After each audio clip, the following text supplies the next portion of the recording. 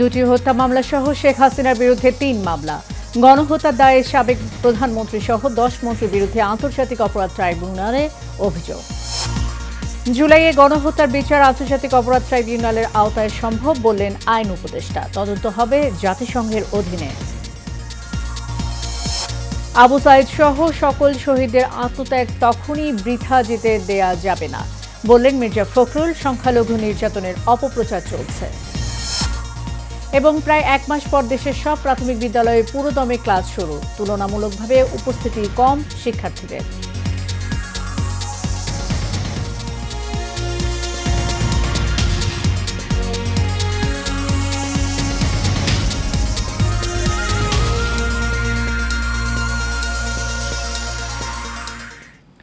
স্বাগত এশিয়ান নিউজের, সাথে আছে সাবরিনা জিয়া।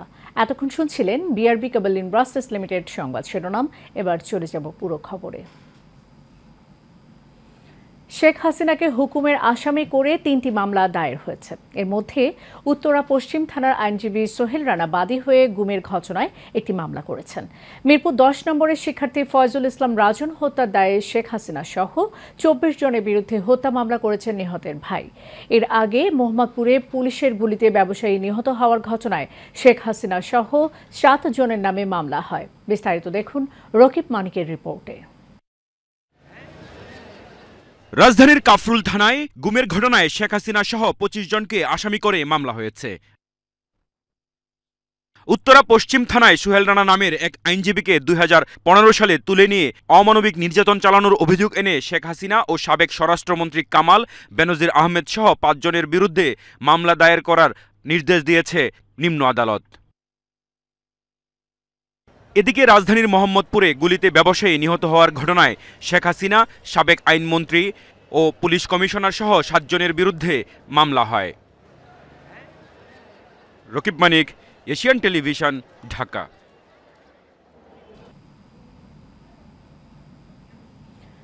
সাবেক প্রধানমন্ত্রী শেখ হাসিনা সহ তার মন্ত্রী পরিষদের দশ জনের বিরুদ্ধে গণহত্যা ও মানবতা বিরোধী অপরাধের একটি অভিযোগ আমলে নিয়েছে আন্তর্জাতিক অপরাধ ট্রাইব্যুনালের তদন্ত সংস্থা। কোটা সংস্কার আন্দোলনে শহীদ আরিফ আহমেদ সিয়ামের বাবা মোহাম্মদ বুলবুল কবিরের পক্ষে আজ আবেদনটি করেন সুপ্রিম কোর্টের আইনজীবী গাজী এম এইচ তামিম। আবেদনে পনেরো জুলাই থেকে পাঁচ আগস্ট পর্যন্ত এক থেকে নয় নম্বর আসামির নির্দেশে এই পরিকল্পনার অন্যান্য আসামিরা দেশীয় এবং আগ্নেয়াস্ত্র দিয়ে নির্বিচারে গুলি করে ছাত্র জনতাকে হত্যা, গণহত্যা ও মানবাধিকার লঙ্ঘন করে বলে উল্লেখ করা হয়েছে।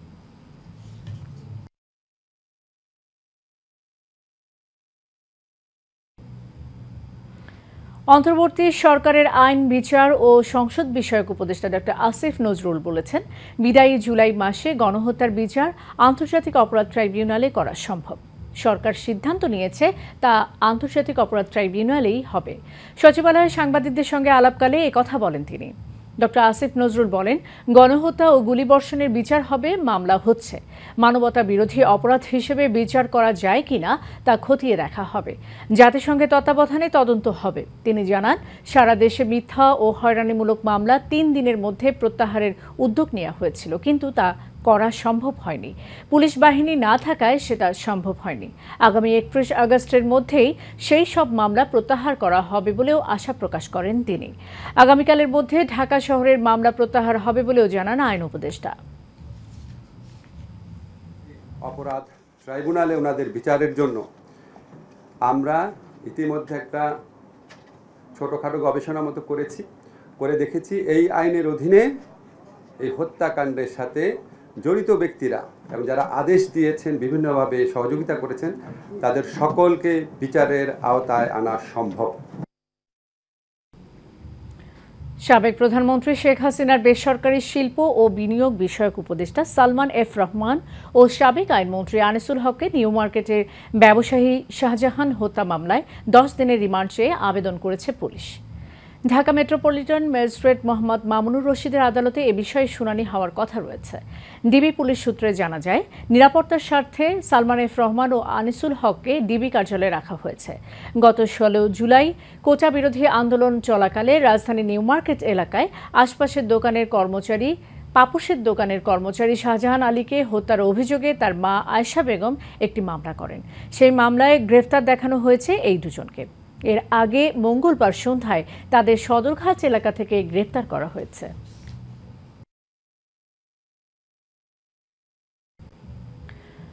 প্রায় এক মাস বন্ধ থাকার পর আজ থেকে দেশের সব প্রাথমিক বিদ্যালয়ে পুরোদমে ক্লাস শুরু হয়েছে।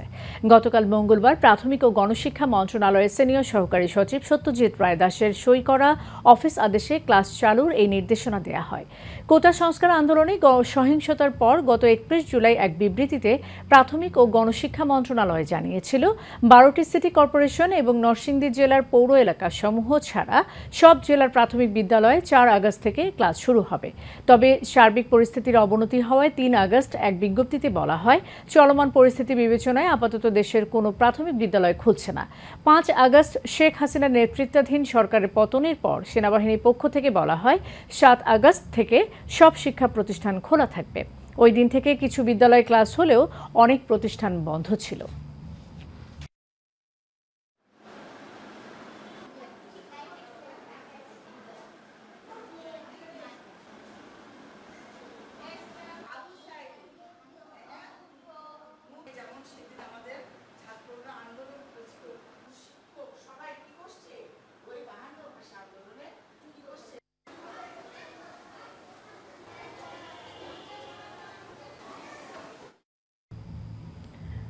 আবু সাইদ সহ সকল শহীদের আত্মত্যাগ তখনই সফল হবে যখন এই ফ্যাসিবাদ স্বৈরাচার হাসিনা সরকারের সকল ষড়যন্ত্র রুখে দিয়ে গণতন্ত্র প্রতিষ্ঠিত হবে বলে মন্তব্য করেছেন বিএনপি মহাসচিব মির্জা ফখরুল ইসলাম আলমগীর।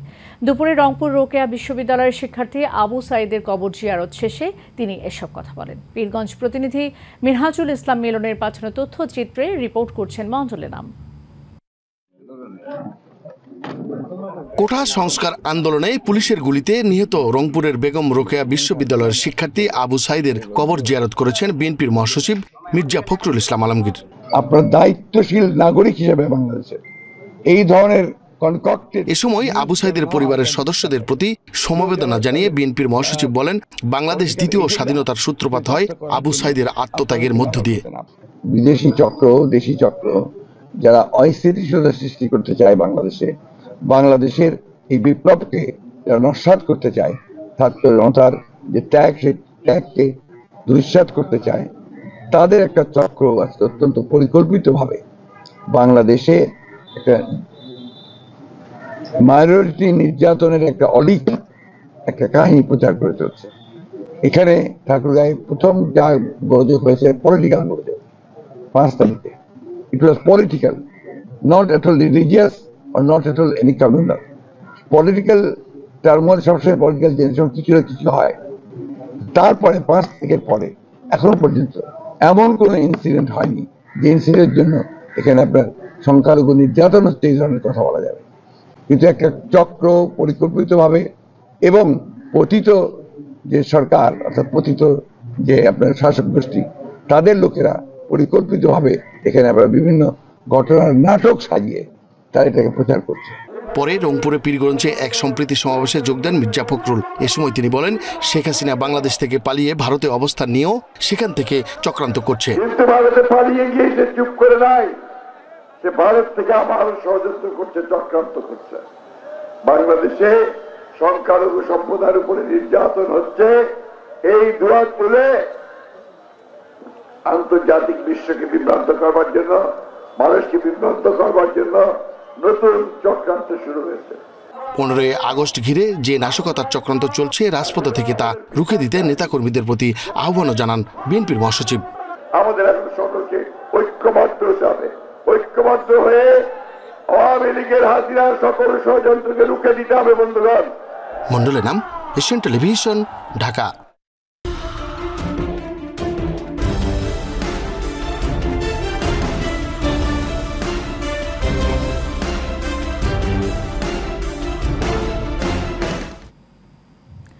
কুমিল্লার দেয়ালে দেয়ালে শিল্পকর্ম আঁকছেন স্কুল কলেজের শিক্ষার্থীরা। রংতুলির আঁচড়ে রঙিন হয়ে উঠেছে কুমিল্লার বিভিন্ন প্রতিষ্ঠান ও রাস্তার পাশের দেয়ালগুলো। পাল্টে গেছে পুরনো রং, ফুটে উঠেছে কোটা বিরোধী আন্দোলনের নানা স্লোগান ও গ্রাফিতি। কুমিল্লা প্রতিনিধি সাজ্জাদ হোসেন শিমুলের তথ্য ছবিতে আরও জানাচ্ছেন Anukriti Aditya.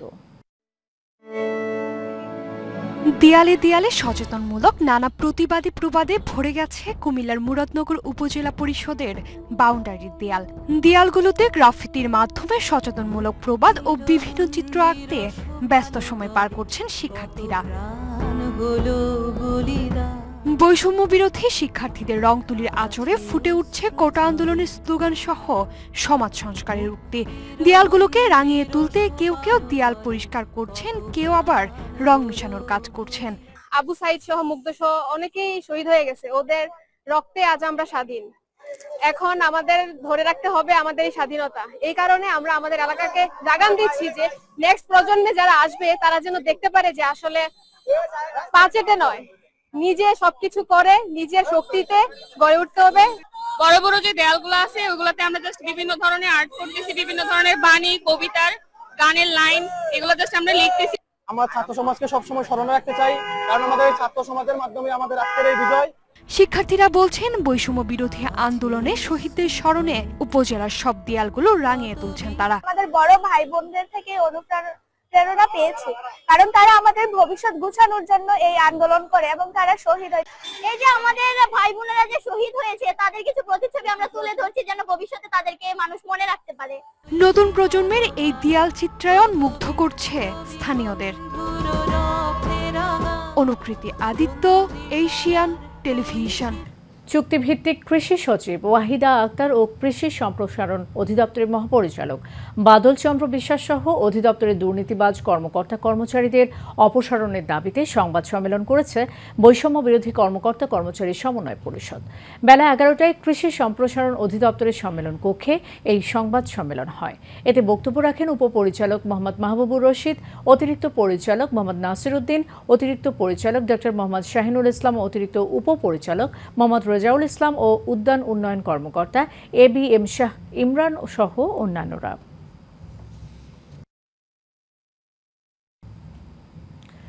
Mirpur girls ideal laboratory ইনস্টিটিউটের প্রধান শিক্ষক জিন্নাত ফারহান এবং সহকারী প্রধান শিক্ষক আহমেদুল্লাহ কাশিমের বিরুদ্ধে মিথ্যা প্রপাগণ্ডা ছড়িয়ে শিক্ষা প্রতিষ্ঠানে ভাবমূর্তি ক্ষুণ্ণ করার অপচেষ্টা চলছে বলে অভিযোগ উঠেছে। নারী শিক্ষিকা বিপাশা ইসলাম ও মিলির বিরুদ্ধে এই অভিযোগ করেন শিক্ষার্থীরা।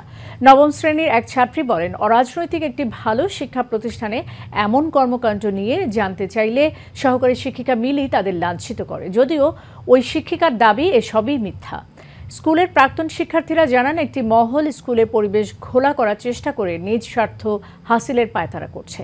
এদিকে অভিভাবকরা বলছেন, দীর্ঘ এক মাস পর স্কুল খুলেছে। অথচ একটি মহল অপপ্রচার করে ঐতিহ্যবাহী শিক্ষা প্রতিষ্ঠানটি ধ্বংসের খেলায় মেতেছে। সবকিছু পরিবেশ খুব ভালো ছিল। আমাদের শিক্ষকরা প্রাক্তন শিক্ষকরা আমাদের খুব ভালোভাবে শিক্ষা দিয়েছে। আমাদের আমলে এরকম রাজনৈতিক অরাজকতা কখনোই হয়নি। শিক্ষকদের কীভাবে সম্মান দিতে হবে সেটা জানে না। ওরা মনে করে আমার আব্বা আম্মুর টাকা আছে টাকা দিচ্ছি। ওনারা ওনাদেরকে আমি যা বলব ওনাদের তাই শুনতে হবে। উনিশশো সাতানব্বই থেকে এখানে কাজ করছে। ওনারা কখনোই স্কুলের খারাপ চায় না। কিন্তু তারা যা করছে সেটা তো ঠিক না। আমরা টিচারদেরকে নর্মালি বলতে গিয়েছিলাম কিন্তু টিচাররা আমাদের হাতে গায়ে হাত তুলছে। ও জাস্ট বলছে যে ম্যাম আপনি এইভাবে কথা বলছেন কেন? আপনি এইভাবে কথা বলার তো রাইট নেই আমরা তো স্টুডেন্ট উনি বলতেছে এই আমি এই স্কুলের টিচার ওকে চাই একটা চড়ায় চড়ায় গলে ছাত্র হয়েছে আমাকে গায়ে হাত দেওয়া হয়েছে। বিভিন্ন জায়গায় তারা বিভিন্ন গুজব বানোয়ার উদ্দেশ্য প্রণোদিত কতগুলো অভিযোগ আমাদের বিরুদ্ধে করে আসছে? ওই মেয়ে আমার সাথে খুব বেয়াদবি করতেছিল। আমি শুধু আমি এখানে আমার এগারো বছর হয়ে গেছে। যাত্রাবাড়ি আড়তে চাঁদাবাজি বন্ধ, চড়া দামে কাঁচামাল বিক্রয় নিষিদ্ধ, অবৈধ মজুদদারদের তালিকার প্রণয়ন, আড়তের ভিতর এবং বাহিরের রাস্তাঘাট পরিষ্কার, ড্রেনের সিস্টেমের উন্নয়ন সহ নয় দফা দাবিতে ব্যবসায়ীদের সাথে মতবিনিময় সভা করেছে বৈষম্য বিরোধী ছাত্র আন্দোলনের সমন্বয়কবৃন্দ। সকালে যাত্রাবাড়ি সিটি কর্পোরেশন দোকান মালিক সমিতির কার্যালয়ে মতবিনিময় সভা হয়। এতে বক্তব্য রাখেন যাত্রাবাড়ি ডিএসসিসি পাইকারি কাঁচামাল আড়ত মার্কেট দোকান মালিক সমবায় সমিতি রেমিটেডের সভাপতি লায়ন শ্রী দিবেন্দু রায় ভুলু বাবু, কেন্দ্রীয় সমন্বয়ক Ismail Samrat, Armin Ahmed Shaon, Hafiz Ahmed Abdur Rahman.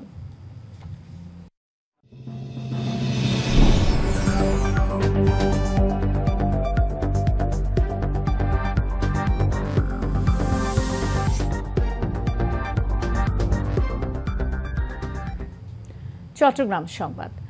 Chattogram city gate police চেকপোস্টে যাত্রীবাহী বাস থেকে সাতাশ কেজি গাঁজা সহ দুজনকে আটক করেছে শিক্ষার্থীরা। গতকাল রাতে সিটি গেট চেকপোস্টে মোস্তফা হাকিম কলেজের ছাত্ররা চট্টগ্রাম থেকে ছেড়ে যাওয়া হানিফ পরিবহনে তল্লাশি চালিয়ে দুই যাত্রী থেকে মাদক উদ্ধার করে। পরে তাদের নৌবাহিনী হাতে তুলে দেয় শিক্ষার্থীরা। পরবর্তীতে আইনগত ব্যবস্থা গ্রহণে আটককৃতদের আকবর শাহ থানা পুলিশের কাছে হস্তান্তর করা হয়। শেষ করব এশিয়ান নিউজ। যাবার আগে বিআরবি কেবল ইন্ডাস্ট্রিজ লিমিটেড সংবাদ শিরোনাম জানিয়ে দেব আরও একবার।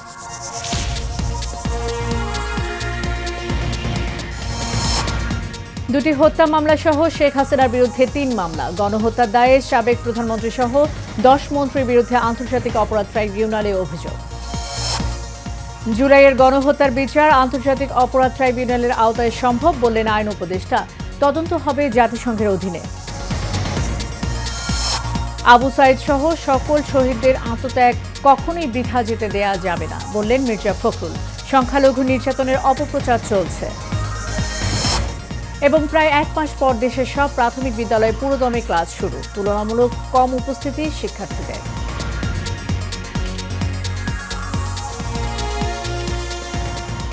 এশিয়া নিউজের পর্যন্তই পরের সংবাদ দেখার আমন্ত্রণ রইল। ধন্যবাদ, সাথে থাকার